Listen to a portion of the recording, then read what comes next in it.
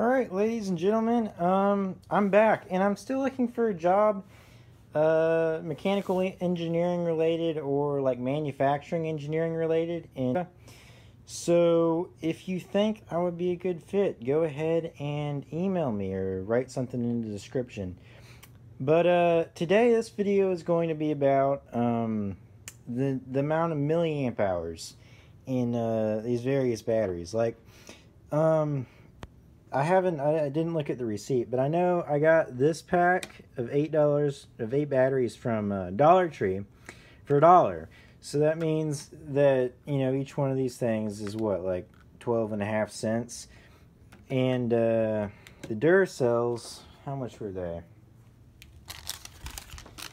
Duracells I got from Publix, and they cost, uh, where is it?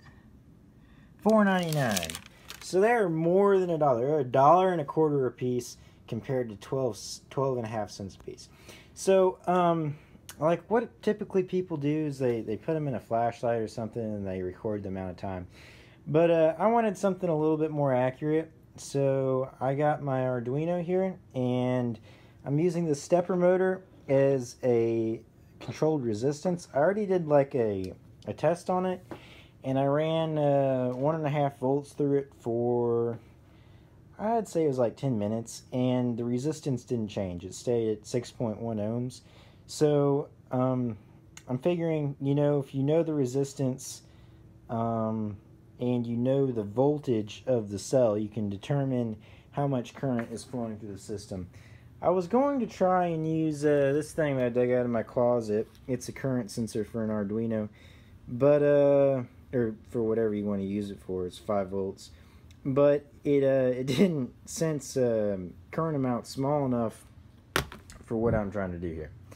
So, um, basically with the code I got here, it's just a, a simple code. It writes a uh, the voltage value to the serial monitor every second and stops once it gets to 0.8 volts. Um, generally, when an alkaline battery gets to about 1 volt, it's considered dead. Um, even though there's like still more energy in the battery, you could technically drain it all the way to 0 volts, but most uh, devices you know, won't be useful anymore at that point.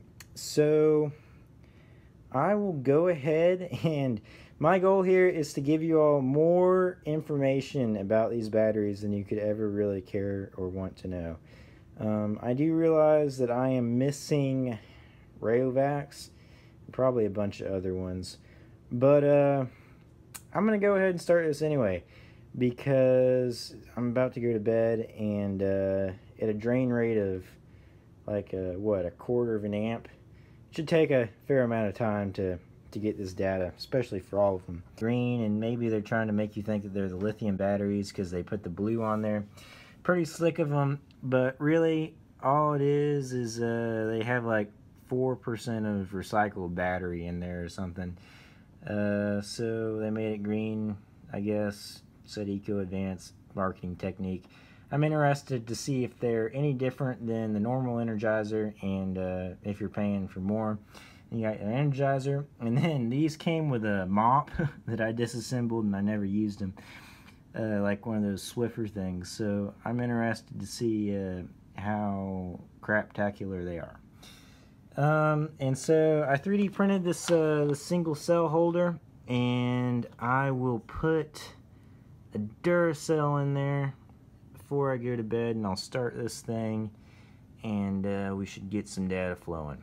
So, uh, thanks, and I'll let you know what the data looks like. Hey, I'm back. All right. Um, so I'm in the process of running the test right now. It takes a very long time. Um, once again, I'm running these batteries uh, like a constant drain rate of, well, it's not a constant drain rate, but uh, with a fixed through a fixed resistance of 6.1 ohms, um, unchanging, and I just let it run and record the voltage with the Arduino on here. But uh, I was reading this, the back of this thing, because I'm like, you know, I'm starting to get into this, because like, uh, I don't know. They put so much advertisement in here. But they say, uh, you know, we believe that you can have a battery that lasts as long as the competition and a fair price. Ridiculously test our Rayovac high energy batteries to ensure it lasts as long as Energizer Max and Duracell Copper Top. Alright, so what I am wondering is if they are talking about this 10 year power guarantee crap. Like, first of all, I don't know that anybody, I mean, what, what liability, what legality is holding them to this 10 year power guarantee? All right, I think that's a bunch of BS because I've had batteries leak acid within the printed date on here. And I don't even know if they've like changed anything since they started manufacturing batteries that have allowed them to have a longer shelf life. You know, I suppose they could. Technology gets better and everything. But what legal recompense is available for the consumers of these batteries if they start to leak within this 10 years. So this is really just like, to me, a complete BS number. Like, if you're not going to use a device for a long amount of time, just take the batteries out of it. Because I know, like, in the heat, they're probably more likely to, to corrode, and, and I've had it happen many times. So this means absolutely nothing to me. All right, but, but, the Energizer, they claim to have the same 10-year guarantee and so does the Duracell. So, I'm wondering if, you know, regardless of what they say about no gimmicks and whatever on the back of here, if this crap about lasting as long is just about, you know, the, the, the number of years that they came up that this battery should be able to sit and not acid, which is, you know, not un foreseeable like for it to, to go bad within that time frame and like do you have to have the receipt? Because like who's gonna have the receipt after 10 years? You know nine years into your batteries being in your flashlight and they leak acid you know? I mean are you gonna sue rayovac for a $10 flashlight nine years after you bought the batteries? I don't think so. So that i mean this stuff kind of aggravates me I mean, it could be true too, but I don't know. I'm skeptical, very skeptical. And another thing that I've noticed is, like you can see, the vacuum packaging. You can see how they got like the little indents for the batteries right here, and then they got this little this little up up thing where you can put like a advertisement. So they the Rayovac stuck this sticker in here. Energizer, they got the same type of packaging and they stick this last 30% longer thing compared to what. Um, then the Duracell package is different. It's just flat. There's no little indents for the batteries. But the Publix package is the same as the Rayovac package and the Energizer package in the fact that they have this little uh, poof right there, but they don't have anything in the front. And so is the same with this uh, this other Publix battery package. Now, uh, I don't know, this one's kind of different because it's only got six batteries in there.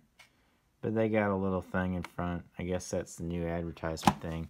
Now, the Dollar Tree batteries, they all, they have little space vacuum sealed in there. So they don't even have a little space for a little, little advertisement thing.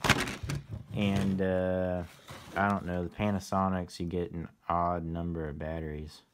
I don't know. There, there's just so much. There's so much unknown here. You know, it's like you got all these different batteries, but they all fit in the same device.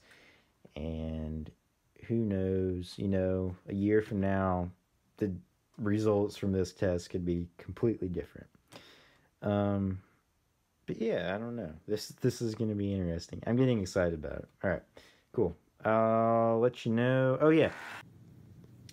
Hey, so I'm still looking for a job, but uh, I figured I'd post this part of the video um, just because I'm getting kind of antsy and uh, it's taken a while and I wanted to like start editing some of this video but I'll show you my initial you know what I'm finding um, I've only done one test run for each of these batteries and like I said I'm not sure how quality control is with the Dollar Tree ones but if you look you can see that really the the the amount of energy in each battery is almost only uh, concerned with its chemistry and like what it's made of. Because these right here, these are the carbon zinc batteries, and these are all the alkaline batteries.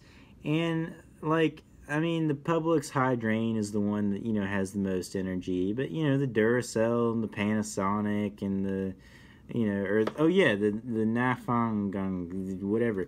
Those are the ones that came with the mop, and they actually were pretty good. Like I, I was super amazed at this. Um, I cannot believe that like these these Dollar Tree alkaline batteries are almost just as good as the Duracells. And I know I probably got you know I probably paid too much. I bought the other ones at Publix, uh, except for the Rayovac. I got them at Walmart, but you can see the, the, the Sunbeam High Drain right now is taking the cake on watt hours per dollar. And it also has, you know, a fairly comparable watt hour per cell uh, compared to the Duracell. And I'll finish uh, getting all this and then I'll upload it as like a screenshot or something. But you can see here, you know, the Publix Drain has the highest and second highest is Duracell. And then you got the Nafang Gang Gang Yang one, and uh, then the Sunbeam Drain, and then you have these two, the the carbon zinc batteries. Um, and they're also a lot lighter. Like I was gonna weigh them just so you know I could upload it and see you guys, you know, if you wanted to figure out if a cell was carbon zinc or alkaline. I figured it's probably easiest to tell by the weight. Um, but yeah, so I I decided to only drain them down to one volt. That's when I stopped the data um, just because it seemed easier, seemed good. Because usually I replace my batteries whenever I notice something going dim. You don't, I don't generally wait till it's completely dead. But uh, yeah, so if you like what I'm doing, if you find this interesting, if you want to help me out in any way, you know, uh, just let me know. Because um, I am looking for a job. And uh, I love engineering. So uh, thanks for watching, and I hope I hope this uh, hope this helps y'all out. Bye.